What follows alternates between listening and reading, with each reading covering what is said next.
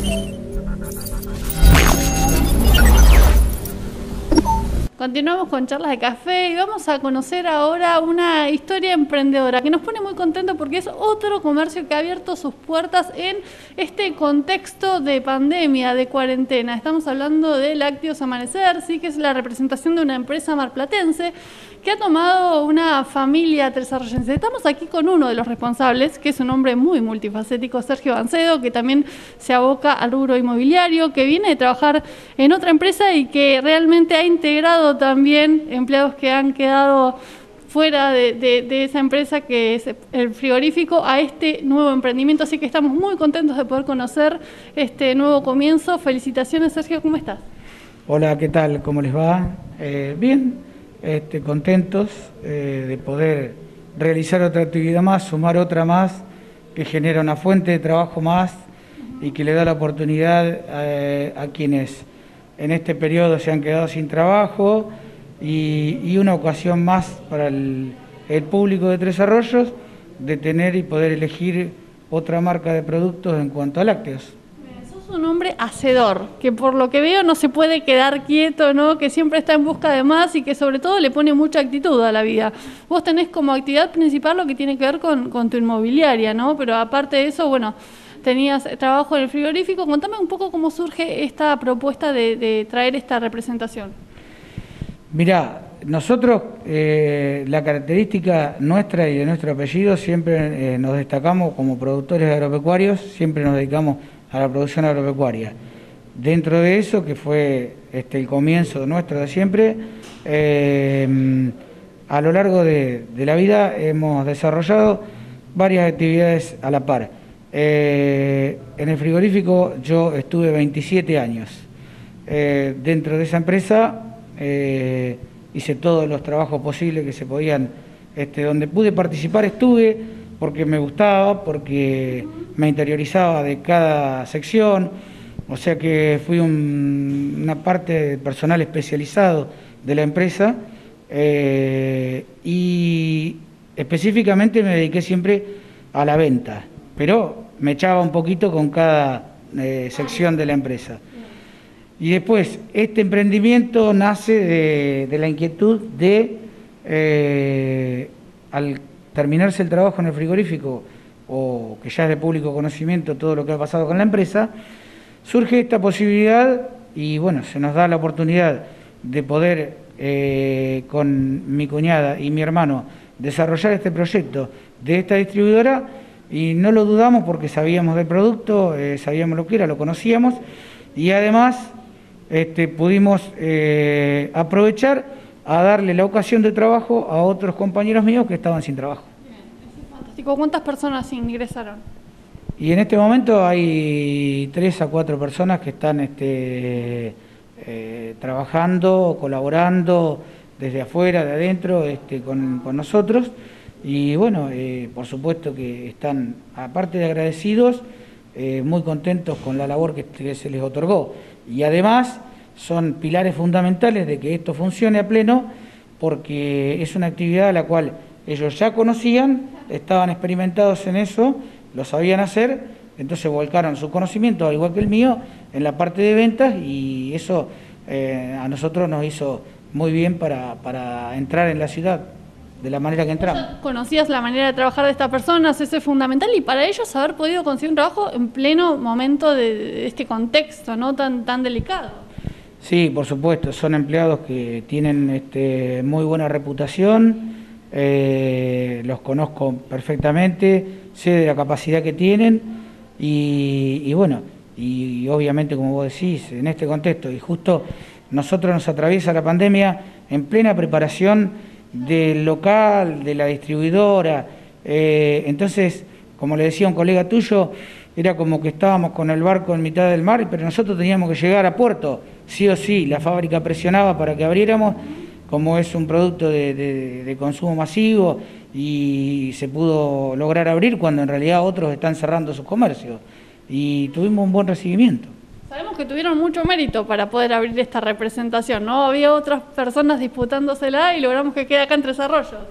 Sí, es cierto. Este, había Este, zonalmente había algunas personas que querían tener esta representación, pero bueno, este, también la fábrica, conociendo nuestros antecedentes y, y nuestros conocimientos, decidió otorgarnos, a la cual le agradecemos, por supuesto, de manera extraordinaria de habernos dado esa posibilidad.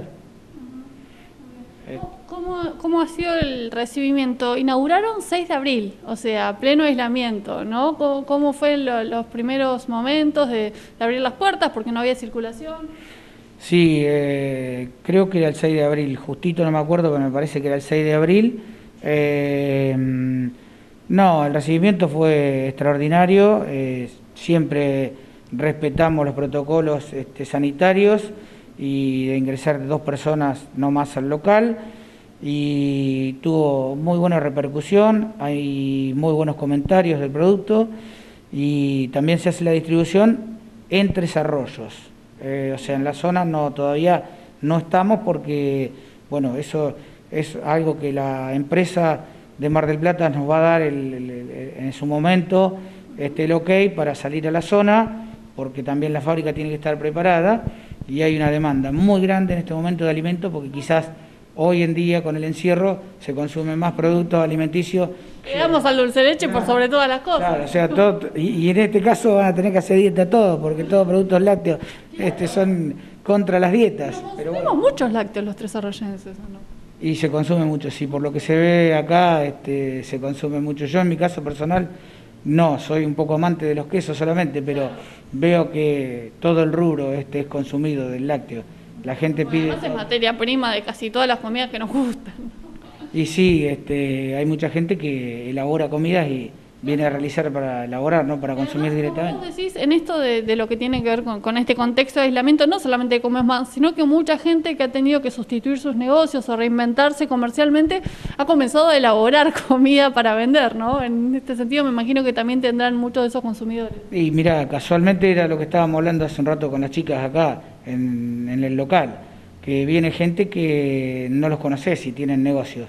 O sea que o tienen el negocio y están trabajando puertas adentro o son domicilios particulares que están produciendo en la casa y vendiendo alimentos, porque quizás no tengan otra fuente laboral y han encontrado en eso una buena propuesta para salir de esta crisis que tenemos y vamos a seguir teniendo por un tiempo largo, creo. En cuanto al abastecimiento, porque los productos vienen de Mar de Plata directamente, ¿verdad? Sí, sí, sí. ¿Han, tenido algún tipo de inconveniente en este tiempo o llega perfecto? No, no, no, no. El camión ha llegado perfecto, viene cada dos días o tres según la demanda que tengamos. Y el tema es que a veces, bueno, la fábrica está corta en producción de un producto, está en falta en esa semana y a la semana siguiente eh, ahí lo conseguimos. Y bueno, y así es alternado con cualquiera de los productos. Por ahí no está toda la línea, quizás falte eh, un dulce de leche de una clase y a la semana siguiente están los dos, eh, pero no, no, no hemos tenido problemas. Casi siempre está el stock completo. Bueno, ya de por sí un, comercio que tiene que ver con alimentos tiene sus reglas, sus protocolos de higiene y demás, pero ustedes contra todos los pronósticos tuvieron que arrancar en un momento de extremas medidas de higiene, sobre todo con lo que tiene que ver con el contacto y, con la entrega, ¿cómo, ¿cómo han manejado eso? Y sí, viste, se ha tenido mucho cuidado. Tuvimos que arrancar porque, bueno, estaba la instalación en locales alquilado, eh, estaba alquilado, viste los costos como son hoy en día, ya estaba todo en pleno funcionamiento, había que, abrir nada más. Eh, después con la distribución y todo, se usan todos los protocolos, se distribuye con eh, vehículos con refrigerados, como tiene que llevar la mercadería. Y hemos tenido muy buena aceptación de todo el sistema de, negocios minoristas y, mayoristas y algunos supermercados que también son clientes nuestros, que están eh, distribuyendo el producto nuestro, pero ha tenido muy buena recepción este, y después mucha gente acá en el local, este, consumidores que vienen todos los días. y aparte el boca en boca, ¿no? Y el boca en boca también, sí, por supuesto, es una ayuda tremenda. O sea, eh, acá los comentarios que nosotros hemos escuchado eh, han sido muy buenos de, la atención al público y del producto también, y de sus precios.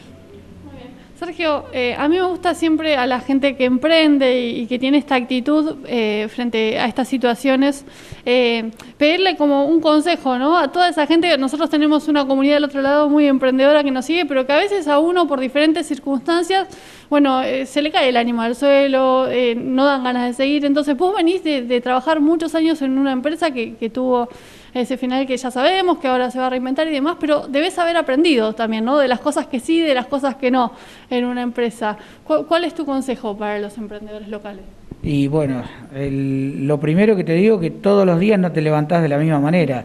Un día tenés un buen estado de ánimo, otro día no, o quizás algún día no estás bien de salud, pero sí o sí, a las 8, a las 7, el horario que tengas, tenés que salir, tenés que dar la cara, tenés que combatir los miedos, porque con el miedo no se llega a ningún lado.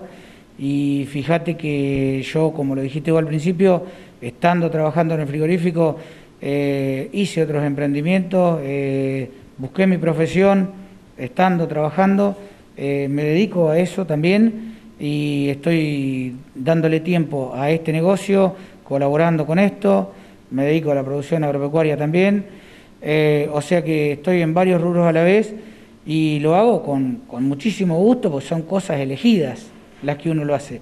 Entonces creo que lo que tiene que buscar el ser humano es lo que le hace bien a su salud lo que le hace bien económicamente a su familia, este, y bueno, y estar en armonía y tratar de estar lo mejor posible. Yo sé que a veces este, los ánimos se caen, las políticas a veces no son favorables, eh, pero bueno, hay que seguir adelante eh, porque otra no nos queda. Esa es nuestra misión aquí en la Tierra. Hacer, ¿no? No quedarse quieto, me parece. Hacer, por supuesto, hacer, no quedarse quieto, ni en la casa. Yo sé que estos días de cuarentena todos habrán pintado su casa, como dice yo, habrán arreglado cosas que no arreglaban, porque, pero bueno, ese, ese es el motivo de, de estar vivo y de poder pelearle a la vida. Sos muy familiar vos también, ¿no? Porque este emprendimiento en familia, la inmobiliaria también la manejás ahí con tu hijo. Eh, sí, la inmobiliaria en los momentos que yo no estoy está al frente de mi hijo que tiene otra profesión, pero le gusta lo mío y está al frente. Y, este, y sí, se trabaja, siempre hemos trabajado en familia nosotros y siempre con algún grupo de colaboradores que nos acompañan. ¿Cómo está el rubro inmobiliario en este momento? Y en cuanto al rubro inmobiliario, te puedo decir que hoy con la venta está totalmente parada. Eh, no, no hay un valor real, porque hoy si tenemos que dar un valor real no, no, no lo sabemos bien, este, calculamos que en dólares las propiedades un 30% eh, van a tener que bajar, eh, si la persona que va a comprar no tiene los dólares va a ser medio difícil que compre, no hay demanda. Ahora en cuanto al rubro alquileres, eso sí es algo que demanda mucho, eh, hay mucha escasez de propiedades en oferta y, bueno, y hay mucho público que bueno, ahora con la pandemia se ha frenado, pero Tres Arroyos este, recibe mucha gente de afuera por las empresas que hay aquí en el parque industrial y que vienen a trabajar eh, o tercerizados que vienen a hacer trabajo aquí este, buscando propiedades para alquilar y eso sí, eso hay mucha demanda y bueno, en cuanto a los locales ya sabemos que con esto este, se ha caído toda la demanda de eso, de locales en alquiler. Y bueno, y algo se va trabajando siempre, lógicamente que tenemos nuestra cartera de clientes a la cual atendemos normalmente con los alquileres y, alguna venta por ahí si surge. Y en cuanto a lo que puede haber es alguna demanda de arrendamiento de campos, no hacia la venta porque estamos en la misma situación que con las casas. Con los valores no hay un valor fijo hoy que se pueda asegurar, ¿no? Este, el mercado está medio eh, en duda hasta que se aclare un poco el panorama y se empiece a trabajar normalmente. Como la economía en general. Ojalá pronto esto se estabilice, pero sabemos que va a haber que tener paciencia y sobre todo aguante, ¿no? Así que bueno, bienvenido sea este emprendimiento en tu vida que te ha traído también no solamente una nueva oportunidad laboral, sino como una renovación de energías, ¿no? Uno cuando encara un nuevo comienzo tiene como esa expectativa, esa adrenalina y esa cosa de tener que estar trabajando porque me imagino que se presentan nuevos desafíos a diario acá. Sí, exactamente, como vos lo decís, es, este, esto te da energía, eh, saber que uno armó esto eh, con, un sacrificio y haciendo un riesgo tremendo, eh, porque tanto mi cuñada y mi hermano han hecho un, un arriesgue total aquí, pero nosotros sabíamos que esto iba a funcionar, estábamos convencidos y hoy que estamos trabajando a pleno, este, por supuesto que nos sentimos orgullosos y muy contentos y, te reconforta el alma. felicitaciones, Sergio. Muchas gracias por recibirnos. No, yo les agradezco a ustedes por haber venido, haberse acordado. Este, hacen un muy buen programa, es muy visto, así que la felicito. y así entonces compartimos este nuevo comienzo en la ciudad Lácteos Amanecer de la mano de uno de los responsables, Sergio Bancedo.